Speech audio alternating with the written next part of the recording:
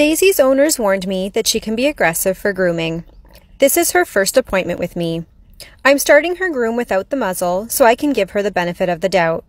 As soon as I realize that she's starting to spin to bite me is when I have to stop to put on the muzzle. After placing her in the muzzle, I realized that she was turning to bite me still. And although she can't actually bite me, she could injure herself by hitting the clippers. So for both of our safety, I place her in the groomer's helper. This will prevent her from being able to spin around and grab the clipper. She really did not like having her legs shaved. I noticed when shaving over this leg that I actually shaved a tick that was attached to her in half. You'll notice the area start bleeding. This is actually the blood coming from the tick.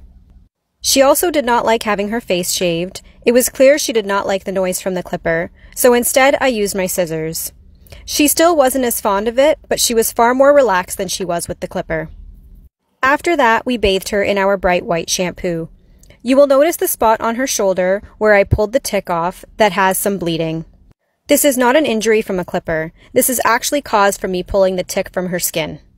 And today, Daisy is getting something special as requested by her owner.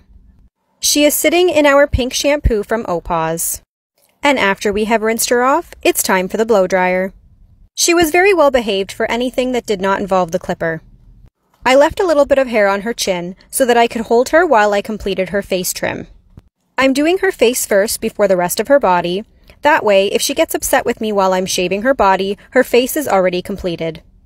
I placed her back on the groomer's helper with a muzzle while I complete her shave.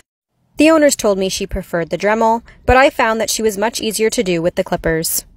This made it even more obvious that she does not like the sound of the vibration.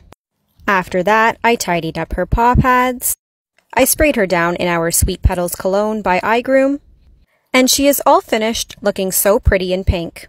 This is OPAWZ shampoo, which is a temporary color that will come out after a couple of washes.